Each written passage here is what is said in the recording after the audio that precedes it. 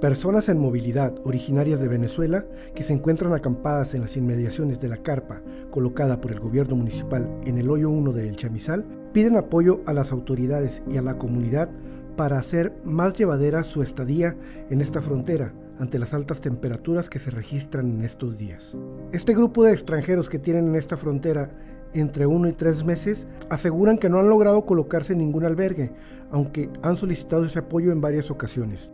Por estas razones que afirman, han tenido que permanecer a la intemperie, bajo la sombra de algunos árboles que se ubican en ese predio, donde tienen que utilizar fogatas para cocinar e improvisar baños para sus necesidades tanto fisiológicas como de higiene personal. Sin embargo, la presencia de los migrantes en las inmediaciones del malecón no ha sido del todo bien recibida por los colonos del sector, quienes afirman que su presencia ya se ha vuelto insostenible, debido a las condiciones antihigiénicas, situaciones de hostigamiento e incluso rencillas entre los mismos extranjeros, por lo que llaman a las autoridades a poner una solución.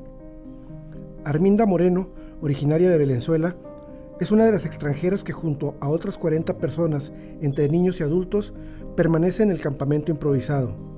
La mujer migrante hizo un llamado a los fronterizos, afirmando que si bien son venezolanos, también son humanos y eso es todo lo que buscan, un trato humanitario mientras logran cruzar a los Estados Unidos. Somos seres humanos igual que todos, todos, todos ustedes aquí. Ellos no son mejor que nosotros, nosotros somos mejores que ellos. Todos necesitamos el apoyo de ustedes y ese es el, llamado que le hacemos a ellos para que toda la hidratación y la cuestión de la comida, que es lo que más nos, nos, nos perjudica a nosotros. pues. Aquí hay dos niñas y como 40 personas adultas, pues, entre mujeres y, hombres.